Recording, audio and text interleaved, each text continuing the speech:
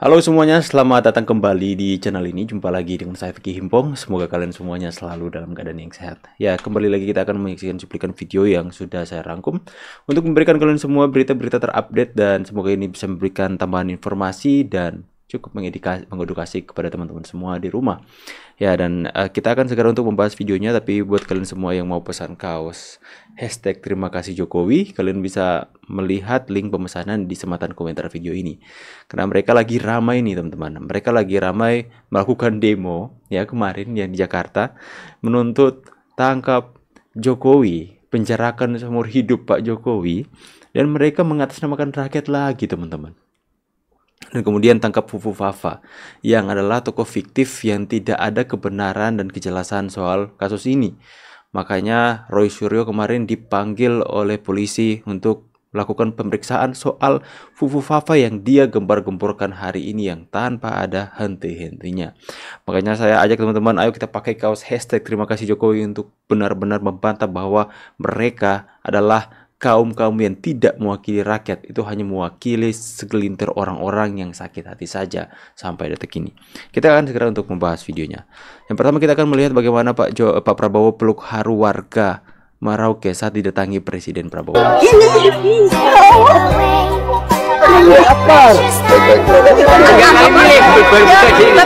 Karena hanya tahu ada di TV kan. Sekarang orangnya yang sudah tahu sendiri. Jadi aku peluk, aku cium. Sedih, sedih betul. Bagaimana ya presiden saya gantinya Pak Luar biasa, memang itu uh, teladan yang diberikan oleh Pak Jokowi itu luar biasa ya. Akhirnya Pak Jokowi bukan satu-satunya presiden yang menginjakan kaki di tanah Papua. Sekarang Pak Prabowo mengikuti jejak beliau. Ini membuktikan bahwa Pak Prabowo akan melakukan pemerataan pembangunan bukan hanya di Jawa sentris saja teman-teman, tapi di seluruh daerah yang termasuk wilayah Republik Indonesia. Ini satu hal yang sangat-sangat optimis kita uh, jalani ke depannya teman-teman. Si Bagong ini bukannya minta maaf malah sibuk klarifikasi. Itu klarifikasi apa sih teman-teman ya? Dia klarifikasi merasa tersakiti. Ya, merasa tersakiti katanya ada yang membuli, ada yang mengancam mau menculik ya. Tapi ya Anda kan sendiri yang mengeluarkan perkataan-perkataan yang tidak pantas kepada Prabowo yang didukung oleh ratusan juta masyarakat Indonesia yang memilih beliau. Apalagi Anda mengatakan yang tidak tidak kepada Gibran dan Pak Jokowi. Makanya Anda kan diulti balik sama netizen. Coba kalian lihat. Itu calon istrinya Sumanto kan. Saya penasaran Sumanto siapa sih? Gapura Unair. Emak-emak kok mukanya boros ya kayak emak-emak 45 tahun. Semangat dek, kebenaran harus ditegakkan. Nah, karena ada yang bela juga. Bude sibuk klarifikasi mulu. Bude lagi ya. Gapura desa. Oke teman-teman ya tadi tapi saya nggak nggak turut ikut mendukung ya ketika ada seorang dibully seperti ini. Cuman ya itu hak netizen. Hak rakyat Indonesia seperti yang dia katakan bahwa itu adalah hak rakyat untuk mengkritik pemerintah. Dia mengemas setiap hinaan dan bulian kepada presiden, kepada wakil presiden, kepada mantan presiden Pak Jokowi sebagai kritikan. Makanya dibalas tuh sama netizen. Saya nggak mendukung pembulian terjadi atau penghinaan kepada seseorang. Akan tapi itu adalah hak netizen seperti yang dia katakan. Seperti itu. Anda sendiri yang memulai. Jadi ya seperti yang saya moto salah satu moto yang saya pegang dalam hidup teman-teman ya. Jika Anda ingin orang lain lakukan kepada Anda, lakukan terlebih dahulu kepada orang lain maka itu akan berbalik, pasti akan berbalik kepada Anda. Misalnya, hal yang simple. Jika teman-teman seumur hidup tidak ada orang yang memberikan surprise atau kejutan di saat ulang, ulang tahun teman-teman, lakukan dulu. Jika teman Anda berulang tahun, surprise, beri kejutan. Maka jika Anda ulang tahun, giliran Anda yang akan diberikan. Itu hal yang simple kan. Ini kan dia kan menabur, sekarang dia menuai. Next teman-teman, ah udahlah kita bahas yang lain.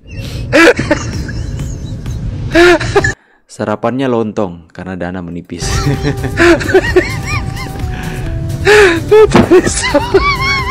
Demo apa ini? Ah, oh itu makanya sarapannya lontong. Aduh.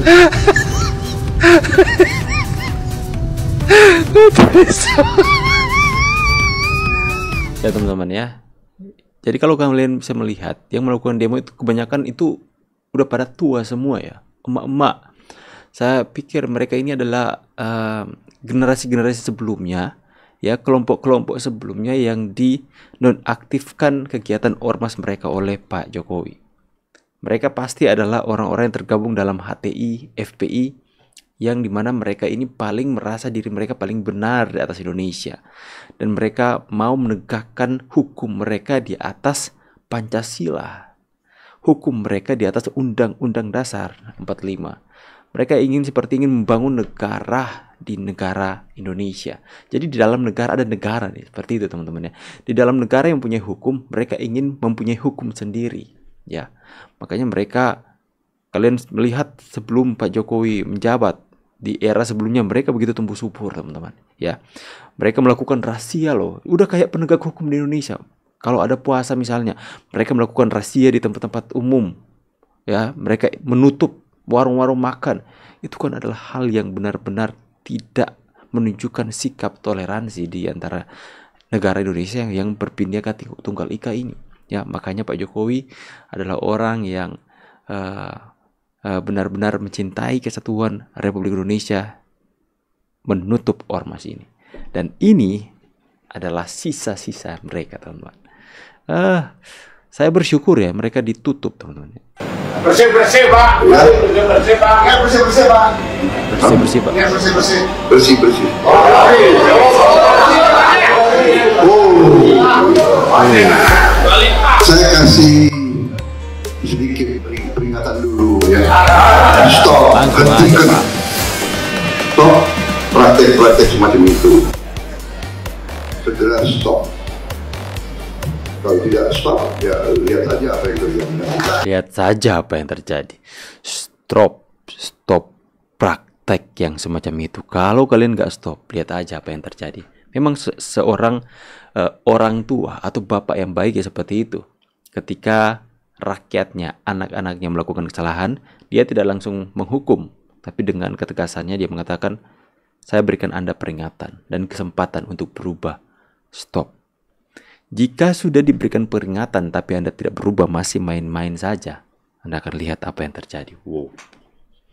Saya langsung semangat ya. Teman. Harus kasih peringatan dulu. Nah, kan harus kasih peringatan dulu. Tolong rakyat sudah pintar rakyat tidak bisa dibohongi lagi kita yang dipilih rakyat harus setia kepada rakyat kita stop praktek-praktek keserakahan praktek-praktek merampok uang rakyat stop stop stop oke okay? stop stop merampok uang rakyat ya luar biasa luar luar biasa Itulah yang saya suka ya. Pak Prabowo serius bersih-bersih. Teman-teman ya, kalian melihat kemarin, kenapa Tom Lembong baru ditangkap sekarang? Ya, apakah kalian pernah berpikir kenapa sih Tom Lembong itu gak ditangkap di eranya Pak Jokowi? Ya, karena saya pikir itu ketegangan akan semakin lebih tinggi. Ya, orang-orang pendukung Abah ini akan semakin anarkis ketika itu ditangkap di eranya Pak Jokowi. Kekacauan mungkin akan lebih besar. Bukan berarti karena Pak Jokowi yang bersalah menangkap Tom Lempong, bukan. Karena ada orang-orang yang akan mengompor, ngompori pendukung Anies ini yang sangat pintar ini, yang sangat mudah untuk terpengaruh ini, mengatakan Jokowi lagi, Jokowi um, menyalahgunakan kekuasaan atau abuse of power untuk menangkap, untuk mempolitisasi Tom Lempong. Pasti seperti itu pasti mereka akan semakin dahsyat membuat kekacauan negeri ini, menghasut masyarakat, memprovokasi masyarakat untuk menyerang Jokowi yang mereka katakan menggunakan kekuasaan untuk mempolitisasi Tom Lembong yang adalah lawan politiknya. Mungkin seperti itu. Ya, pasti mereka akan buat kacau negeri ini jika Tom Lembong ditangkap atau para koruptor-koruptor ditangkap di era kepemimpinan Pak Jokowi. Saya percaya, ya saya percaya kasus Tom Lembong ini dan para koruptor-koruptor yang ditangkap hari ini, saya yakin percaya itu sudah dikantongi semuanya buktinya di era Pak Jokowi. Saya yakin seperti itu teman-teman ya. Ini asumsi saya tapi saya kok yakin ya. Tapi inilah kepintaran dan kejeniusan Pak Jokowi. Dia tidak dia tahan dulu karena dia tidak ingin terjadi kekacauan. Karena yang akan ditangkap ini adalah orang-orang yang sering nyinyir kepada pemerintah. Ada orang-orang yang sering menghujat, mencelah pemerintah, mengatakan seperti Tong Lembong kan sangat gencar melawan hilirisasi. Bagaimana kalau dia ditangkap di era kepemimpinan Pak Jokowi? Pasti dia akan uh, para pembenci Pak Jokowi akan menggoreng ini dan mengatakan bahwa wah ini pembungkaman terhadap Tom Lembong. Jokowi abuse of power. Jokowi seperti dan akhirnya mereka akan demo-demo mengatakan tangkap Jokowi, penjarakan Jokowi ya seperti itu. Pasti akan seperti itu teman-teman. Tapi kejeniusan Pak Jokowi, saya percaya Pak Jokowi memberikan ini loh Pak Prabowo ini orang-orang ini nama-namanya ini sudah mempunyai bukti silakan.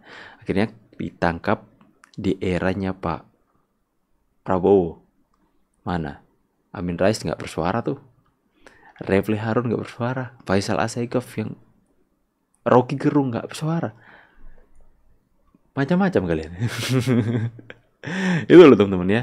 Yang saya suka ya dari sinergi kedua orang ini benar-benar terjalin dengan rapi. Ya, bermain dengan sangat cantik ya. Bermain dengan sangat rapi sehingga para bangkir-bangkir itu ya, para mereka yang suka mencapai bangsa seperti nggak berkutik di hadapan dua orang sahabat yang saya sangat kagumi. Ya, luar biasa teman-teman ya. Kita nggak salah pilih ya. Apa yang kita suarakan hari ini sampaikan, tersampaikan teman-teman ya. Ya, silakan tulis pandangan dan opini kalian di kolom komentar. Ya, saya akan segera pamit. Tapi sebelum itu yang mau pesan kaos hashtag terima kasih Jokowi link pembelian di sematan komentar video ini saya pamit dulu see you on next video guys and God bless bye guys